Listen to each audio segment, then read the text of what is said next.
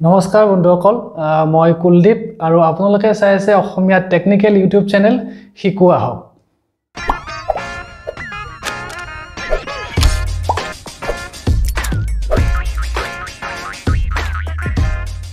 Friends আজিৰ ভিডিঅ'টো specially তেওঁলোকৰ বাবে যিসকলে নতুনকৈ গ্ৰাফিক ডিজাইন শিকি আছে বা গ্ৰাফিক ডিজাইনটো নিজৰ কেৰিয়াৰ হিচাপে ল'ব বিচাৰে। ফ্ৰেণ্ডছ এই ভিডিঅ'টোত মই গ্ৰাফিক ডিজাইনৰ ওপৰত আজি খুব সুন্দৰ কেইটামান কথা আলোচনা কৰিম যিটো আপোনাৰ ভৱিষ্যতে কামত আহিব। গতিকে স্কিপ নকৰাকৈ ভিডিঅ'টো শেষলৈকে চাব। চ' আহক দেৰি নকৰি ভিডিঅ'টো আৰম্ভ কৰোঁ। চাওক প্ৰথম কথাটো হ'ল গ্ৰাফিক ডিজাইন কাক কোৱা হয় বা গ্ৰাফিক ডিজাইন কি? ফ্ৰেণ্ডছ যদি মই সহজ ভাষাত থুলমূলকৈ অতি কম সময়ৰ ভিতৰত ক'ব বিচাৰোঁ যে গ্ৰাফিক ডিজাইন কি হয় তো গ্ৰাফিক ডিজাইনটো হ'ল আপোনাৰ এনেকুৱা এটা বস্তু য'ত আপুনি টেক্স মানে আখৰ আৰু আপোনাৰ ইমেজ আৰু শ্বেপ এইকেইটা বস্তু ব্যৱহাৰ কৰি আপুনি দৰ্শকক কিবা এটা বস্তুৰ ওপৰত ধাৰণা এটা দিব পাৰে বা মেছেজ এটা আপুনি দিব পাৰে দৰ্শকক তো সেইটোৱে হৈছে আপোনাৰ গ্ৰাফিক ডিজাইন তো আপোনাৰ গ্ৰাফিক ডিজাইনটো চাই এজন মানুহে বুজি পাব লাগিব যে আপুনি এই ডিজাইনটোৰ জৰিয়তে আপুনি তেওঁক কি বুজাব বিচাৰিছে। মুঠতে দৰ্শকজনে আপোনাৰ ডিজাইনটো চাই বুজি পাব লাগিব। আপুনি মুখেৰে নক'লেও বা আপোনাৰ ডিজাইনটো চাই তেওঁ বুজি পাব লাগিব যে আপুনি তেওঁক কি বুজাব বিচাৰিছে। এইটোৱে হৈছে এজন গ্ৰাফিক ডিজাইনাৰৰ কাম। এটা গ্ৰাফিকৰ জৰিয়তে দৰ্শকক মানে গোটেই ইনফৰ্মেশ্যনখিনি প্ৰদান কৰা। আপুনি কি বুজাব বিচাৰিছে সেইটো যাতে সহজতে বুজি পায়। আৰু এইটো গ্ৰাফিক্সৰ জৰিয়তে বহুত সুন্দৰকৈ বুজাই দিব পৰা যায়। ঠিক আছে? তো ডিজাইন এটা হ'ব লাগিলে মই অলৰেডি ক'লোঁ ইমেজ আপুনি ইউজ কৰিব লাগিব তাত। তাত কিছুমান লাইনছ আপুনি ইউজ কৰিব পাৰে তাত আপুনি আখৰ ইউজ কৰিব পাৰে তাত কিছুমান বিভিন্ন ধৰণৰ আপুনি শ্বেপ ইউজ কৰিব পাৰে। তো শ্বেপৰ ভিতৰত আমি ডিজাইনবিলাক সজাব পাৰোঁ। তো এনেকৈ এটা গ্ৰাফিক্স ডিজাইন কৰা হয়। তাৰপিছত নেক্সট কথাটো আহিব আমাৰ গ্ৰাফিক ডিজাইন আমি কিয় শিকিব লাগে? ঠিক আছে? গ্ৰাফিক ডিজাইন আমি কিয় শিকিব লাগে বা গ্ৰাফিক ডিজাইন আমি কিয় কৰিব লাগে? বা ইয়াৰ সহায়ত আমাৰ কি লাভ হ'ব পাৰে? ঠিক আছে? তো এইটো বিষয়ত মই এতিয়া আপোনাক কৈ আছোঁ। চাওক বৰ্তমান সময়ত সকলোবোৰ বস্তু ডিজিটেল হৈ গৈ আছে। আপুনি চাগে গমেই পাইছে আৰু দেখিও আছে সকলো পিনে আপোনাৰ চব ডিজিটেল ঠিক আছে? তো কৰোণাৰ পিছৰ পৰা মানে কৰোণাৰ সময়ত যিটো আমাৰ পৰিস্থিতি হ'ল কোনেও ক'লৈকো যাব নোৱাৰে। তো ঘৰত বহিয়ে আপুনি কাম কৰিব লাগিব ঘৰত বহিয়ে আপুনি এডভাৰটাইজিং কৰিব লাগিব আপোনাৰ মেছেজ আপুনি ঘৰত বহিয়ে কাৰোবাক চেণ্ড কৰিব লাগিব ঠিক আছে? তো মানে মেছেজ মানে মই টেক্সট মেছেজ চেণ্ড কৰাৰ কথা কোৱা নাই। ধৰক আপোনাৰ এটা প্ৰডাক্ট আছে সেই প্ৰডাক্টৰ বিষয়ে আপুনি অডিয়েঞ্চক আপুনি জনাব বিচাৰে আপোনাৰ ক্লাইণ্টক আপুনি জনাব বিচাৰে ঠিক আছে? তো তেনেকুৱা ধৰণৰ মেছেজবিলাক আমি এই লকডাউনৰ সময়ত আমি এইটো বস্তু বহুত ভালদৰে শিকি গ'লোঁ বহুতে যে ফিজিকেল মাৰ্কেটিং আৰু ডিজিটেল মাৰ্কেটিং কি বস্তু হয় ঠিক আছে? তো এতিয়া চব বস্তুবিলাক ডিজিটেল হৈ গৈ আছে। তো ডিজিটেল হোৱাৰ লগে লগে আমাৰ কিছুমান বস্তু নন ডিজিটেল বস্তুবিলাক আমাৰ এতিয়া নোহোৱা হৈ গৈছে ক্ৰমান্বয়ে। মানে তাৰ চাহিদাটো কমি আহিছে আৰু ডিজিটেল বস্তুবিলাকৰ চাহিদাটো বাঢ়ি আহিছে। ঠিক তেনেকৈ মই যদি আপোনাক এক্সাম্পল দিওঁ ডিজিটেল বস্তু কোনবিলাক আপোনাৰ চাহিদা বাঢ়িছে আৰু নন ডিজিটেল বস্তু আপোনাৰ কোনবিলাকৰ চাহিদা আপোনাৰ কমি গৈছে। তো মই আপোনাক চমুকৈ এইখিনি বস্তু অকণমান কৈ দিছোঁ। চাওক লকডাউনৰ সময়ত যেতিয়া সকলোবিলাক বন্ধ আছিল কোনেও ক'লৈকো যাব পৰা নাছিল তেতিয়া আমি ঘৰত বহিয়ে আমি নিউজ পেপাৰ তো পোৱা নাছিলোঁ। নিউজ পেপাৰ দিব অহা নাছিলে ধৰক আমাৰ আমি মেগাজিন মান্থলি যিবিলাক মেগাজিন লৈছিলোঁ বা বাহিৰত গৈ আমি কিছুমান কিতাপ পত্ৰ কিনি আনি পঢ়িব পাৰিছিলোঁ। তো তেনেকুৱা বস্তুবিলাক আমাৰ লকডাউনৰ সময়ত প্ৰায় নোহোৱা হৈ গৈছিলে। আমি সেইবিলাক পোৱা নাছিলোঁ। তো আমি কি কৰিছিলোঁ ঘৰত বহিয়ে আমি ই নিউজ পেপাৰ চাইছিলোঁ। তো অনলাইন আমি নিউজ পেপাৰ চাইছিলোঁ ঠিক আছে? ঠিক তেনেদৰে কোম্পেনীবিলাকে নিজৰ প্ৰডাক্টৰ বিষয়ে আপোনাক জনাবলৈ আপোনাক মেছেজ দিবলৈ আগতে আপোনাৰ লিফলেট পাম্পলেট ঠিক আছে? তো এনেকুৱা ধৰণৰ ব্ৰচাৰ এইবিলাক বস্তু আপোনাৰ ইউজ কৰিছিলে হাতে হাতে এইবিলাক গৈ দিছিলে মানুহক তেনেকৈ তেওঁলোকে প্ৰচাৰ কৰিছিলে। তো যেতিয়া আপোনাৰ কোনেও ক'লৈকো যাব নোৱাৰা হ'ল তো ডিজিটেল বস্তুটোৰ চাহিদাটো খুবেই বাঢ়ি গ'ল। তো তেতিয়া মানুহে কি কৰিলে ঘৰত বহি আপোনাৰ ছ'চিয়েল মিডিয়াৰ থ্ৰুৱেদি মানে ছ'চিয়েল মিডিয়াৰ জৰিয়তে বা আৰু তেনেকুৱা বহুত প্লেটফৰ্ম আছে অনলাইন যিবিলাক আপুনি কৰিব পাৰে মানে অনলাইন আপুনি মেছেজবিলাক ৰাইজৰ ওচৰলৈ নিব পাৰে অডিয়েঞ্চৰ ওচৰলৈ নিব পাৰে। তো তেনেকৈ আপোনাৰ ফেচবুক হৈ গ'ল টুইটাৰ হৈ গ'ল ইনষ্টাগ্ৰাম হৈ গ'ল ঠিক আছে। এই ছ'চিয়েল মিডিয়া প্লেটফৰ্মৰ জৰিয়তে আমি বহুত কাম কৰিলোঁ লকডাউনৰ সময়ত। আৰু লকডাউনৰ সময়ত এই বস্তুটোৱে মানুহক মানে এটা বহুত মাথাত খেলাই গ'ল যে ডিজিটেল বস্তুটো একচুৱেলি লাগে ঠিক আছে। আপুনি নিজৰ ঠাইত ঘৰত বহিয়ে আপুনি ফেচবুকত যদি এখন পোষ্টাৰ এখন বনাই আপোনাৰ ধৰক কোম্পেনী এটা আছে আপোনাৰ অৰ্গেনাইজেশ্যন এটা আছে বা আপোনাৰ কিবা এখন শ্বপ আছে দোকান আছে সেইখনত আপোনাৰ কি কি পোৱা যায় কি কি কাম হয় তাৰ বিষয়ে আপুনি এটা সৰুকৈ ডিজাইন এটা বনাই যদি সেইটো ফেচবুকত আপলোড কৰিলে আপুনি স্পেচিয়েলি আপোনাৰ যিখিনি টাৰ্গেটেড অডিয়েঞ্চ আছে সেইখিনিক আপুনি দেখাব পাৰে এই বস্তুটো। তো ইউটিউবৰ থ্ৰুদিও আপোনাৰ কিছুমান এডভাৰটাইজ আমি দেখা পাই থাকোঁ ফেচবুক টুইটাৰ এইবিলাকতো এনি টাইম আপোনাৰ বা ৱেবছাইট কিছুমানতো আমি ছাইটত দেখাই পাওঁ। ধুনীয়াকৈ আপোনাৰ এডভাৰটাইজবিলাক শ্ব' হৈ থাকে। তো এই যিমানবিলাক আপুনি দেখিব আগৰ যিবিলাক আমি মেগাজিন পঢ়িছিলোঁ তো এতিয়া লাহে লাহে মেগাজিনৰ চাহিদাটো কমি আহিব। মেগাজিনৰ ঠাই ল'ব এতিয়া আপোনাৰ ব্লগিং ঠিক আছে মানুহে আৰ্টিকল এতিয়া অনলাইনে লিখা কৰিছে ব্লগ ষ্টাৰ্ট কৰিছে ব্লগত আপুনি টেক্সট লিখিব তাত কিছুমান গ্ৰাফিক্স দিব ডিজাইন থাকিব ঠিক তেনেকৈ আপোনাৰ অনলাইন এইবিলাক কাম কৰা হৈ গৈছে। তো মই ভাবোঁ খুব কম দিনৰ ভিতৰত আমাৰ ডিজিটেল আৰু আগবাঢ়ি যাব। মানে এই যিবিলাক নন ডিজিটেল পেপাৰ প্ৰিণ্টিং যিবিলাক বস্তু আছে আপোনাৰ লিফলেট পাম্পলেট ঠিক আছে তো এইবিলাকৰ সলনি মানুহে ডিজিটেল বস্তুটো বেছিকৈ আঁকোৱালি কৰি আঁকোৱালি ল'ব। যাৰ সহায়ত মানুহৰ পইচাও বাচি যাব সময়ো বাচি যাব ঠিক আছে? ঘৰত বহিয়ে গোটেইখিনি কাম কৰিব পাৰিব। ফ্ৰেণ্ডছ গতিকে মই ভাবোঁ এনে এটা সময়ত যদি আপুনি গ্ৰাফিক ডিজাইন শিকে বা গ্ৰাফিক ডিজাইনটো যদি আপোনাৰ কেৰিয়াৰ হিচাপে লয় তেতিয়া আপোনাৰ তেতিয়া আপুনি বহুত সুবিধাই ল'ব পাৰিব। কিয়নো এতিয়া সকলো ঠাইতে আপোনাৰ গ্ৰাফিক ডিজাইন প্ৰয়োজন। আপুনি য'তেই নাযাওক কিয় আপোনাক গ্ৰাফিক ডিজাইন লাগিবই? আপোনাৰ চাৰিওফালে আপুনি এবাৰ চকু ফুৰাই চাব যিটো ফালে আপুনি গ্ৰাফিক ডিজাইন দেখা নাপাব। আপুনি সকলোফালে গ্ৰাফিক ডিজাইনৰ বস্তু দেখা পাব ক'ৰবাত পোষ্টাৰ দেখা পাব ক'ৰবাত হৰ্ডিং দেখা পাব। আপুনি ধৰক কিবা এটা দোকান এখনত বস্তু এটাই কিনিব গ'ল তাত আপুনি পেকেজিংটো দেখিব তাতো ডিজাইন আছে ঠিক আছে? তো আপুনি যিয়ে হাতত লয় সকলোতে আপুনি গ্ৰাফিক ডিজাইন পাব। তো মই ভাবোঁ এইটো এটা আপোনাৰ কেৰিয়াৰ হিচাপে বাছি ল'বৰ কাৰণে কোনো এইটো মানে ভুল সিদ্ধান্ত নহয়। আৰু বিশেষকৈ ময়ো এইটো কৰিয়ে ইমান দিন চলি আছোঁ। আৰু মই যিমানখিনি মোৰ পাৰ্চনেল এক্সপিৰিয়েঞ্চ সেইখিনি মই আজি আপোনাৰ লগত শ্বেয়াৰ কৰি আছোঁ। মই ভাবোঁ গ্ৰাফিক ডিজাইন এটা সুন্দৰ কেৰিয়াৰ হয় যদিহে আপুনি এইটো মনোযোগ দি কৰে ভালকৈ শিকে। তো ফ্ৰেণ্ডছ এইবাৰ নিশ্চয় আপোনাৰ মনত এটা প্ৰশ্ন আহিব। গ্ৰাফিক ডিজাইন কেনেকৈ হ'ব পাৰি বা গ্ৰাফিক ডিজাইন কেনেকৈ শিকিব পাৰি? ঠিক আছে? তো এইটো বিষয়ে মই আপোনাক ক্লিয়াৰ কৰি দিছোঁ। তো গ্ৰাফিক ডিজাইন যদি আপুনি শিকিব লাগে বা আপুনি যদি এজন গ্ৰাফিক ডিজাইনাৰ হ'ব লাগে তেতিয়াহ'লে এক নম্বৰ কথা আপুনি এটা মনত ৰাখিব লাগিব। প্ৰথম কথাটো হৈছে আপোনাৰ এটা ক্ৰিয়েটিভিটি থাকিব লাগিব। ক্ৰিয়েটিভিটি মানে কি বুজি পাইছে? আপোনাৰ এটা আৰ্টিষ্টিক মাইণ্ড থাকিব লাগিব আৰু আপোনাৰ মগজুত এনেকুৱা কিছুমান চিন্তা আহিব লাগিব যিবিলাক চিন্তা সচৰাচৰ বেলেগ মানুহে নকৰে। ঠিক আছে? মানে মই একেবাৰে ভয় লগাই দিয়া নাই যে বেলেগ মানুহে চিন্তা নকৰা কথা এটা আপোনাক মই চিন্তা কৰিব দিছোঁ ঠিক তেনেকুৱা ধৰণৰ কথা নহয়। তো গ্ৰাফিক ডিজাইন এটা এনেকুৱা বস্তু হয় এইটো এটা আৰ্ট হয় টোটেলি আৰ্ট হয়। ঠিক আছে? এনেকুৱা নহয় যে আপুনি গ্ৰাফিক ডিজাইন শিকিছে মানে ডিজাইনাৰ হৈ গ'ল। তো তেনেকুৱাটো কেতিয়াও হ'ব নোৱাৰে। তো তাৰ কাৰণে আপুনি চাব লাগিব আপোনাৰ মাইণ্ডটো ক্ৰিয়েটিভ হয় নে নহয়। আপোনাৰ ক্ৰিয়েটিভিটিটো আপুনি চাব লাগিব যে আপুনি কিছুমান বস্তু লগ লগাই যেনে ইমেজ শ্বেপছ টেক্স এইবিলাক বস্তু লগ লগাই আপুনি কি এটা নতুন ডিজাইন কি এটা আপুনি ক্ৰিয়েট কৰিব পাৰিছে আৰু সেই ডিজাইনটোৰ জৰিয়তে আপুনি কি মেছেজ আপুনি দিব বিচাৰিছে আৰু যিটো মেছেজ আপুনি দিব বিচাৰিছে আপোনাৰ অডিয়েঞ্চে চাই সেইটো বুজি পাইছে নে নাই? তো এই আপোনাৰ কেপাচিটিটো মানে আপোনাৰ থাকিব লাগিব। এইখিনি বস্তু ক্লিয়াৰ হৈছে। মেইন কথা আপোনাৰ ক্ৰিয়েটিভিটি আপোনাৰ থাকিব লাগিব। ক্ৰিয়েটিভিটি অবিহনে আপুনি ডিজাইন কৰিব নোৱাৰে। যেনেকৈ আপোনাৰ গান গোৱা বা কোনোবা ইনষ্ট্ৰুমেণ্ট এটা বজোৱা ঠিক আছে পেইণ্ট কৰা ছবি আঁকা এইবিলাক যেনেকৈ আপোনাৰ একো একোটা আৰ্ট হয় ঠিক আছে তো গ্ৰাফিক ডিজাইনটো এটা আৰ্ট হয়। আপোনাৰ মনৰ পৰা এই আৰ্টটো আহিব লাগিব আপোনাৰ মগজুত খেলাব লাগিব বস্তুবিলাক। তেতিয়াহে আপুনি সেই বস্তুটো ডিজাইনত ফুটাই আনিব পাৰিব ডিজাইনত আপুনি উঠাব পাৰিব ঠিক আছে?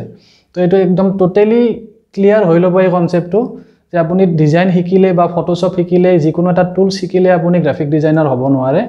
তাৰ কাৰণে লাগিব আপোনাক ক্ৰিয়েটিভিটি আপুনি বেলেগতকৈ কি বেলেগ ক্ৰিয়েট কৰিব পাৰিছে? আৰু এটা কথা এইটো ফিল্ডত খুবেই আপোনাৰ কম্পিটিশ্যন ঠিক আছে? ডিজাইনিঙৰ ফিল্ডটোত খুবেই কম্পিটিশ্যন ইয়াত এনেকুৱা নহয় যে আপুনি কিছুমান এনেকুৱা জব আছে য'ত আপুনি ধৰক ৰাতিপুৱা গ'ল ডেইলি আপোনাৰ এটাই কাম। ৰাতিপুৱা গ'ল গধূলিলৈকে আপুনি সেইখিনিয়ে কাম কৰি শেষ কৰিব লাগে। ঠিক আছে? তো গ্ৰাফিক ডিজাইনিং তেনেকুৱা কোনো ধৰণৰ বস্তু নহয়। গ্ৰাফিক ডিজাইনিং টোটেলি এটা এনেকুৱা বস্তু যিটোত আপুনি সদায় নতুন নতুন চিন্তা কৰিব লাগিব। তো তাৰ কাৰণে আপুনি বেলেগতকৈ বেলেগ হ'বই লাগিব। তো আপোনাৰ চিন্তা অলপ বেলেগ হ'বই লাগিব। আৰু আপোনাৰ চিন্তাটো বেলেগে ভাল পাবও লাগিব। ঠিক আছে? তেতিয়াহে আপোনাৰ ডিজাইনটো ভাল লাগিব আপুনি এটা ছাকচেছফুল ডিজাইনাৰ হ'ব পাৰিব। আপোনাৰ চিন্তা সদায় বেলেগ হ'ব লাগিব। এনেকুৱা নহয় যে আপুনি আজি এটা ডিজাইন কৰিছে সেই ছেম ডিজাইনটোকে আপুনি কালি ৰিপিট কৰিব পৰহিও ৰিপিট কৰিব তেনেকুৱা কেতিয়াও হ'ব নোৱাৰে। আপুনি ছেম কালাৰ কেতিয়াও ইউজ কৰিব নোৱাৰে। আপুনি প্ৰত্যেকটো ডিজাইনে বেলেগ এটা ৰূপত আপুনি অডিয়েঞ্চক দেখাব লাগিব। আপোনাৰ ক্লাইণ্টক দেখাব লাগিব তেতিয়াহে তেওঁলোকে আপোনাৰ ডিজাইন পচন্দ কৰিব। তাৰ কাৰণে আপুনি সদায় নতুন চিন্তা কৰিব লাগিব বহুত ভাবিব লাগিব। দ্বিতীয় কথাটো হৈছে আপোনাৰ পেশ্যন বা ইণ্টাৰেষ্ট এইটো এটা বহুত গুৰুত্বপূৰ্ণ কথা। যদি আপোনাৰ পেশ্যন নাথাকে কামটোত যদি আপোনাৰ ইণ্টাৰেষ্ট নাথাকে তেতিয়া আপুনি এইটো কোনো ক্ৰিয়েট কৰিব নোৱাৰে কোনো ধৰণৰ ক্ৰিয়েটিভিটি আপোনাৰ তাত আহিব নোৱাৰে। কাৰণ আপোনাৰ বস্তুটোত ইণ্টাৰেষ্ট থাকিব লাগিব আপোনাৰ কৰি ভাল লাগিব লাগিব। এনেকুৱা নহয় যে মই এইটো কাম পইচা পাইছোঁ কাৰণে কৰি আছোঁ। আপুনি পইচা পাব কামটো কৰাৰ বিনিময়ত আপোনাক পইচা দিব। কিন্তু কামটোত তেতিয়াহে ভাল হ'ব যেতিয়া আপুনি সেই কামটো মনৰ পৰা কৰিব। আপোনাৰ মনৰ পৰা ডিজাইন এটা ওলাই আহিব। আপোনাৰ যেতিয়া ইণ্টাৰেষ্ট থাকিব তেতিয়া আপুনি পাৰিব। যেনেকৈ এজন ছিংগাৰে এনে চিঞৰি থাকিলে সি গান গাব নোৱাৰে। ঠিক আছে? তো তাৰ মনৰ পৰা এটা ইচ্ছা আহিব লাগিব ফিল এটা আহিব লাগিব। তেতিয়াহে তেওঁ গান গাব পাৰিব বা কোনোবা ইনষ্ট্ৰুমেণ্ট বজাব পাৰিব ছবি আঁকিব পাৰিব ঠিক আছে? আৰু এইটো বহুত ধৈৰ্যৰ খেলা হয় আপুনি ধৈৰ্য ধৰিবই লাগিব তেতিয়াহে আপুনি এইটো লাইনত ছাকচেছ হ'ব। ইয়াত আপোনাৰ সদায় একোটা নতুন নতুন চেলেঞ্জিং টাস্ক থাকে। সেই টাস্কবিলাক আপুনি কমপ্লিট কৰিব পাৰিব লাগিব তেতিয়া আপুনি আগলৈকে যাব পাৰিব। আপুনি কালি যি কৰিছিলে সেইটো কালি পাহৰি যাওক। আজি নতুন কি কৰিব পাৰোঁ সেইটো চিন্তা কৰিব লাগিব। তেতিয়াহে আপোনাৰ কাম মানুহে ভাল পাব। আৰু তেতিয়াহে আপুনি এজন গ্ৰাফিক ডিজাইনাৰ বুলি নিজকে পৰিচয় দিব পাৰিব। আৰু যদি আপোনাৰ এই গুণকেইটা আছে আপোনাক মষ্ট ৱেলকাম আপুনি এইটো ফিল্ডত আহিব পাৰে। আৰু মোৰ বিশ্বাস আছে আপুনি ছাকচেছো হ'ব এজন ভাল ডিজাইনাৰো হ'ব। আৰু এই ক্ষেত্ৰত হেল্প কৰিবলৈ মই আছোঁ। যিমানখিনি পাৰোঁ মই আপোনাক সহায় কৰিম। আপোনাক ডিজাইনিঙৰ বিষয়ে কি কি শিকিব লাগে কি টুলছ শিকিব লাগে কেনেকৈ ডিজাইন কৰা হয় মই গোটেইবিলাক বস্তু আপোনাক গাইড কৰিম এ টু জেড ঠিক আছে? মই ফটোশ্বপ হওক ইলাষ্ট্ৰেটৰ হওক আপোনাৰ ইনডিজাইন হওক বা কোৰেল ড্ৰ হওক এইবিলাক গোটেইবিলাক বস্তুৰ ওপৰত মই নতুন নতুন সুন্দৰ সুন্দৰ ভিডিঅ' বহুত সহজ পদ্ধতিত আপোনাক মই দেখুৱাই দিম। তো তাৰ জৰিয়তে আপুনি অতি সুন্দৰকৈ ষ্টেপ বাই ষ্টেপ অলপ অলপকৈ আপুনি গোটেইখিনি বস্তু ক্লিয়াৰ কৰিব পাৰিব। ফ্ৰেণ্ডছ লগতে কৈ থওঁ আপুনি যদি মোৰ চেনেলটোত প্ৰথমবাৰৰ বাবে আহিছে চেনেলটো ছাবস্ক্ৰাইব কৰি ল'ব তেতিয়া আপুনি মোৰ নেক্সট ভিডিঅ'বিলাক আপলোড কৰিলে আপুনি পাই থাকিব আৰু লগতে যিটো বেল আইকন আছে সেইটো আপুনি প্ৰেছ কৰি থ'ব আপুনি যাতে ন'টিফিকেশ্যনবিলাক সময়মতে পাই থাকে। তাৰপিছত আপোনাৰ মনত অহা নেক্সট প্ৰশ্নটো মই কৈ আছোঁ। আপোনাৰ মনত এতিয়া আহিব পাৰে যে গ্ৰাফিক ডিজাইন শিকাৰ পিছত গ্ৰাফিক ডিজাইনটো বাৰু আমি শিকি ল'লোঁ গ্ৰাফিক ডিজাইন শিকাৰ পিছত আমি কি কি ইণ্ডাষ্ট্ৰীত কেনেকুৱা ধৰণৰ কোম্পেনীত আমি জব পাব পাৰোঁ? তো এইটো সকলোৰে মনত প্ৰশ্ন আহিব। তো সেইটো মই আলোচনা কৰি আছোঁ। চ' প্ৰথমতে আহিব আমাৰ এডভাৰটাইজিং এজেঞ্চি তো আমাৰ অসমতে হওক বা অসমৰ বাহিৰত বা তাতকৈও বাহিৰত সকলোতে আপোনাৰ এডভাৰটাইজিং এজেঞ্চি থাকেই। তো এডভাৰটাইজিং এজেঞ্চি হ'ল আপোনাৰ এনেকুৱা এটা কোম্পেনী হয় য'ত প্ৰিণ্টিঙৰ কাৰণে কিছুমান ডিজাইন কৰা হয়। তো তেনেকুৱা ক্লাইণ্টবিলাক থাকে। এডভাৰটাইজিং এজেঞ্চিবিলাকত কিছুমান কোম্পেনীয়ে তেওঁলোকৰ ডিজাইনবিলাক লৈ আহে এনেকুৱা ধৰণে ব্ৰিফবিলাক লৈ আহে। সেই ব্ৰিফবিলাক চাই আমি ডিজাইনবিলাক কৰি দিব লগা হয়। আৰু তাত ডিজিটেলৰ কাৰণেও কিছুমান ডিজাইন কৰা হয়। ডিজিটেল মানে ধৰক ছ'চিয়েল মিডিয়াত পষ্ট কৰিবৰ কাৰণে টুইটাৰ ইনষ্টাগ্ৰামত পষ্ট কৰিবৰ কাৰণেও কিছুমান ডিজাইন তেওঁলোকে বনায়। আৰু সেইবিলাক আপোনাৰ মানে তেওঁলোকে এডভাৰটাইজিং এজেঞ্চিৰ জৰিয়তে সেইবিলাক ডিজাইন বনায়। সকলোৰে ওচৰততো পাৰ্চনেল ডিজাইনাৰটো নাথাকে। তো মেক্সিমামে কি কৰে আপোনাৰ? এডভাৰটাইজিং তো আপুনি যদি এজন ভাল ডিজাইনাৰ হৈ উঠিব পাৰে তেতিয়া আপুনি এডভাৰটাইজিং এজেঞ্চিটো আপুনি কাম কৰিব পাৰে। নেক্সট আপুনি কোম্পেনী ব্ৰেণ্ডিঙৰ কাম কৰিব পাৰে। কোম্পেনী ব্ৰেণ্ডিঙত কি হয় আপোনাৰ? লগো ডিজাইন থাকিব পাৰে আপোনাৰ brochure design hoarding banner leaflet pamphlet এনেকুৱা ধৰণৰ কিছুমান বস্তু আপোনাৰ তাত ডিজাইন কৰা হয়। আপুনি তাতো আপুনি ডিজাইনিং কৰিব পাৰে। তাৰপিছতে আহিব আপোনাৰ U I U X design তো ইউ আই ইউ এক্স কি হয় এইবিলাক বাৰু পিছত বহলভাৱে আলোচনা কৰিম।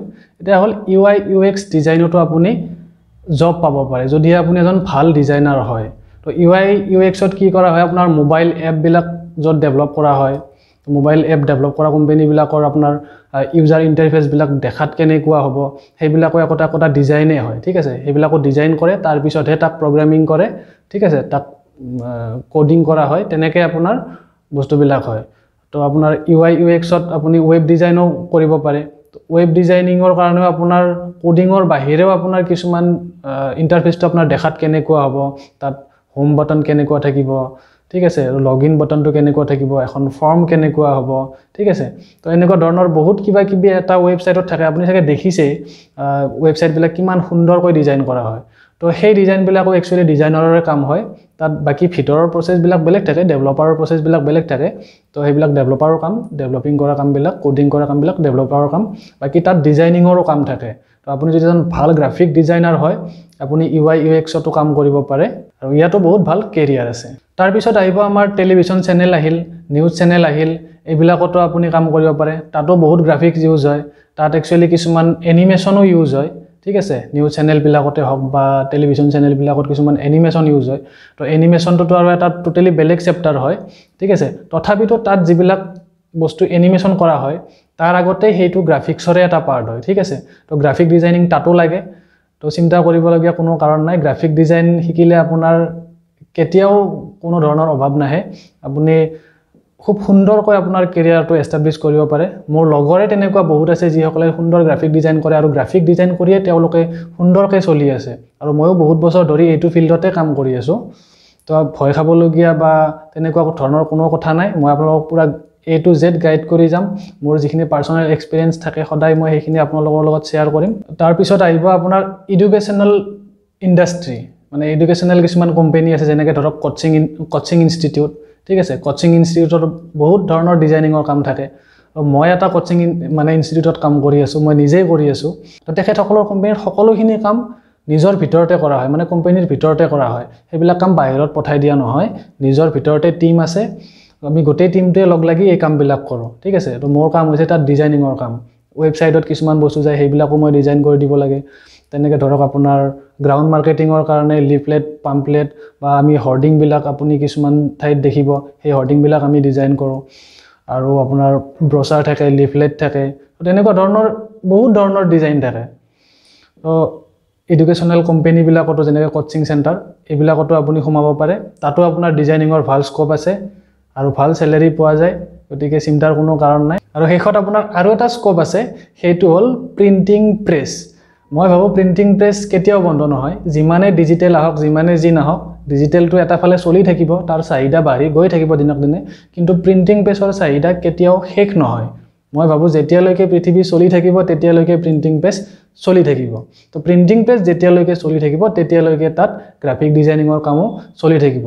হয়তো সেইটো ব্লেক এণ্ড হোৱাইট হ'ব পাৰে নহয় সেইটো কালাৰ হ'ব পাৰে। কাৰণ প্ৰিণ্টিং প্ৰেছ তাত সকলো ধৰণৰ বস্তুৱেই প্ৰিণ্ট হয়। ঠিক আছে? সকলো ধৰণৰ মানে আপোনাৰ মেগাজিনৰ পৰা আৰম্ভ কৰি মাল্টি যিবিলাক মাল্টি কালাৰ প্ৰেছ হয় মাল্টি কালাৰ যিবিলাক অপছেট প্ৰেছ হয় সেইবিলাকত আপোনাৰ সকলো ধৰণৰ মাল্টি কালাৰ বস্তু প্ৰিণ্ট কৰা হয়। কিতাপৰ কাভাৰৰ পৰা আৰম্ভ কৰি আপোনাৰ ব্ৰচাৰ লিফলেট জাষ্ট ফ্লেক্স যিটো বেনাৰ যিটো হয় বেনাৰটো বেলেগ ঠাইত প্ৰিণ্ট হয় সেইটো ফ্লেক্স মেচিনত প্ৰিণ্ট হয়। বাকী প্ৰিণ্টিং প্ৰেছত সকলো ধৰণৰ বস্তুৱেই প্ৰিণ্ট হয়। আপুনি কেলেণ্ডাৰখনৰে কথা কওঁ যিয়ে নহওক কিয় আপোনাৰ গোটেইখিনি বস্তুৱে আপোনাৰ প্ৰিণ্টিং প্ৰেছত প্ৰিণ্ট কৰা হয়। আৰু তাৰ কাৰণে আপোনাৰ গ্ৰাফিক ডিজাইনিঙৰ টীম এটা প্ৰিণ্টিং প্ৰেছত থাকেই। ঠিক আছে? তো গ্ৰাফিক ডিজাইন শিকিলে আপুনি প্ৰিণ্টিং প্ৰেছতো কাম কৰিব পাৰে। তো মই আপোনাক যিমানকেইটা ক'লোঁ গোটেইকেইটাই খুব সুন্দৰ আপোনাৰ জব অপৰচুনিটিজ হয়। আপুনি সকলোতে আপুনি এবাৰ এপ্লাই কৰি চাব পাৰে যেতিয়া আপুনি এজন ভাল গ্ৰাফিক ডিজাইনাৰ হৈ উঠে। জবৰ কাৰণে কোনো ধৰণৰ টেনশ্যন নাই। মাত্ৰ এটাই কথা আপুনি মনত ৰাখিব লাগিব আপুনি এজন ভাল ডিজাইনাৰ হ'ব লাগিব। তো ফ্ৰেণ্ডছ শেষত মই মোৰ পাৰ্চনেল যিটো এক্সপিৰিয়েঞ্চ ইমান বছৰে যে মই কাম কৰিলোঁ সেই এক্সপিৰিয়েঞ্চৰ পৰা মই যিখিনি বস্তু বুজি পালোঁ সেই বস্তুখিনি মই আপোনাৰ লগত কিছু আলোচনা কৰোঁ। চাওক মই ভাবোঁ বৰ্তমান সময়ত আপুনি গ্ৰাফিক ডিজাইনিং শিকিব লাগিলে কোনো ইনষ্টিটিউটত যোৱাৰ দৰকাৰ নাই। মই নকওঁ যে ইনষ্টিটিউটবোৰ বেয়া ইনষ্টিটিউটে ভালকৈ নিশিকায়। ঠিক আছে ইনষ্টিটিউটত গ'লে আপোনাৰ কি হ'ব? আপুনি টুলছবিলাক শিকিব পাৰিব। মানে আপুনি ধৰক আপুনি ফটোশ্বপ শিকিলে ফটোশ্বপৰ কোনটো টুলছত কি কাম কৰা হয় ঠিক আছে এইখিনি বস্তুহে আপোনালোকক শিকাব। তাত আপোনাক মগজুত কেতিয়াও সোমাই দিব নোৱাৰে যে আপুনি ডিজাইন কেনেকৈ কৰিব এটা ডিজাইন আনকমন ডিজাইন আপুনি ডেইলি ইউনিক ডিজাইন এটা কেনেকৈ আপুনি ক্ৰিয়েট কৰিব সেইটো আপোনাৰ নিজৰ মাইণ্ডটোক নিজে ট্ৰেইন কৰিব লাগিব আৰু সেইটো আপোনাৰ ক্ৰিয়েটিভিটি মই নকওঁ যে ইনষ্টিটিউটে আপোনাক ভালকৈ নিশিকায়। ইনষ্টিটিউটত গ'লে আপুনি টুলছখিনিৰ ব্যৱহাৰখিনিহে গম পাব আৰু মই ভাবোঁ সেই টুলছৰ ব্যৱহাৰখিনি বৰ্তমান আপুনি ইউটিউবতো শিকিব পাৰে। আৰু মই ভাবোঁ আপুনি ইনষ্টিটিউটত গৈ এক লাখ ডেৰ লাখ দুই লাখ টকা আপুনি গ্ৰাফিক ডিজাইনিং শিকাৰ নামত খৰচ কৰাতকৈ আপুনি সেইখিনি টকাৰে আপোনাৰ এটা ভাল লেপটপ বা পি চি আপুনি কিনক আৰু ইউটিউবত আপুনি সকলো ধৰণৰ প্ৰব্লেমৰ চলিউশ্যন পাই যাব। গ্ৰাফিক ডিজাইনিঙেই হওক ভিডিঅ' এডিটিঙেই হওক আপোনাক যি লাগে আপুনি টপিকটো চাৰ্চ কৰিলে আপুনি পাই যাব। আপোনাক কি শিকিব বিচাৰে আপুনি কি লাগে আপোনাক গোটেইখিনি আপুনি পাই যাব।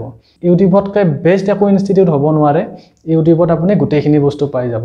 আৰু মই আপোনাক এইটো কথা প্ৰথমতেও কৈছোঁ যে মই এইটো জেড আপোনাক গাইড কৰি যাম মই যিমানখিনি শিকিছোঁ মই যিমানখিনি জানো মই গোটেইখিনি বস্তু আপোনাক গাইড কৰি যাম।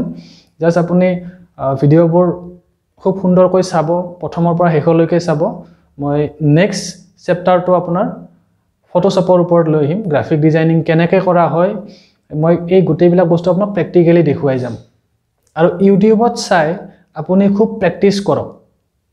প্ৰেক্টিচ অবিহনে একো নাই ঠিক আছে? আপুনি যেনেকৈ আপুনি মিউজিক শিকিব লাগিলে গীটাৰখন আপুনি টিচাৰে আপোনাক শিকাই দিব যে কেনেকৈ কেনেকৈ আপুনি নোটবিলাক ধৰিব লাগে কেনেকৈ কেনেকৈ কৰ্ডবিলাক ধৰিব লাগে কেনেকৈ ষ্ট্ৰামিং কৰিব লাগে এইবিলাক আপোনাক শিকাই দিব। কিন্তু আপোনাৰ হাতখন ফাষ্ট হ'বৰ কাৰণে বা আপোনাৰ মিউজিকৰ চাউণ্ডটো আপোনাৰ চুইটনেছটো আনিবৰ কাৰণে আপুনি নিজে প্ৰেক্টিচ কৰিব লাগিব ঘৰত। তো সেইটো আপোনাক টিচাৰে কৰি দিব নোৱাৰে। প্ৰেক্টিচটো আপোনাৰ নিজৰ ওপৰত কথা। ঠিক তেনেকৈ আপোনাৰ গ্ৰাফিক ডিজাইনিঙৰ ক্ষেত্ৰতো আপোনাক ইনষ্টিটিউটৰ আপোনাক টুলছখিনিহে শিকাব। আপুনি কিমানখিনি আপুনি নিজে প্ৰেক্টিচ কৰি আপুনি নিজক মানে আগুৱাই লৈ যাব পাৰে। আপোনাৰ ডিজাইনবিলাক দেখাত ভাল লগা কৰিব পাৰে। সদায় নতুন নতুনকৈ এটা চিন্তা কৰিব। কি অলপ নতুন এড কৰিলে ভাল লাগিব? ঠিক আছে? সেই বস্তুটো আপুনি নিজে কৰিব। আপুনি ইউটিউব চাওক। ইউটিউবৰ ভিডিঅ'বিলাক চাওক মই নকওঁ যে অকল মোৰটোৱে চাওক মোতকৈও বহুত ভাল ভাল টিউটৰিয়েল দিয়া আপোনাৰ টিউটৰ আছে। তো তেওঁলোকৰ পৰা আপুনি ইউটিউব চেনেলবিলাকৰ পৰা আপুনি শিকক। আৰু ঘৰত খুব প্ৰেক্টিচ কৰক। যেতিয়ালৈকে আপোনাৰ কনচেপ্টবিলাক ক্লিয়াৰ নহয় যেতিয়ালৈকে আপুনি গম নাপাব যে আপোনাৰ ডিজাইনটো আপোনাৰ ভাল লাগিলে নহ'ব আপোনাৰ ডিজাইনটো বেলেগৰ ভাল লাগিব লাগিব। যেতিয়া আপোনাৰ ডিজাইনটো বেলেগৰ ভাল লগা হ'ব কোনোবাই ভাল লাগিছে বুলি ক'ব ডিজাইনটোৰ এটা ভেলু থাকিব তেতিয়া আপুনি মই ভাবোঁ আপুনি তেতিয়া এপ্লাই কৰক।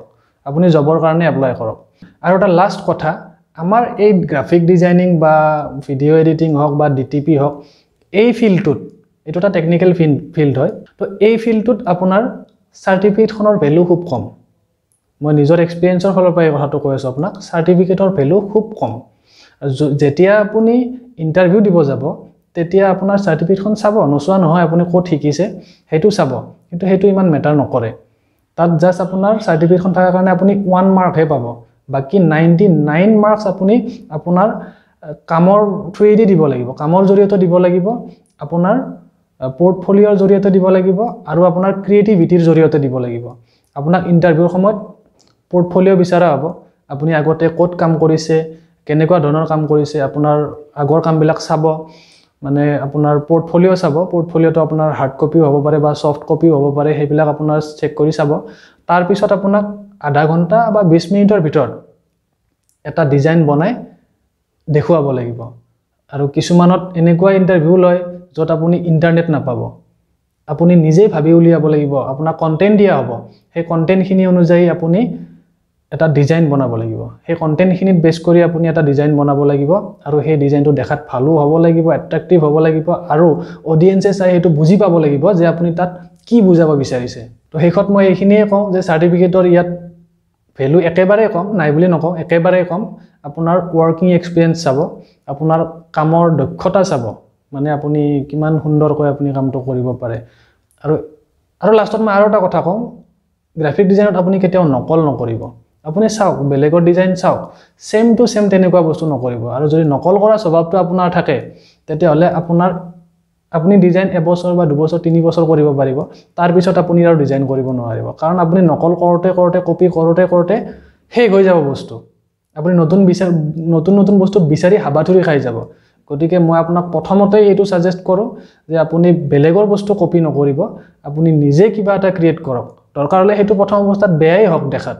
কোনো কথা নাই। তাক আপুনি ইম্প্ৰুভ কৰক। তাক আপুনি ভাল কৰিবলৈ ট্ৰাই কৰক।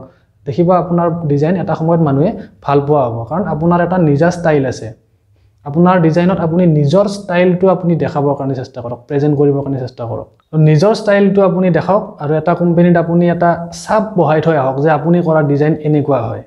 আপুনি কৰা ডিজাইন এইটোৱেই হয়। ডিজাইনটো দেখিলে যাতে মানুহে গম পায় যে এইটো আপুনি কৰিছে। তো তেনেকুৱা বেকগ্ৰাউণ্ড এটা আপুনি ক্ৰিয়েট কৰক আপোনাৰ নিজক লৈ।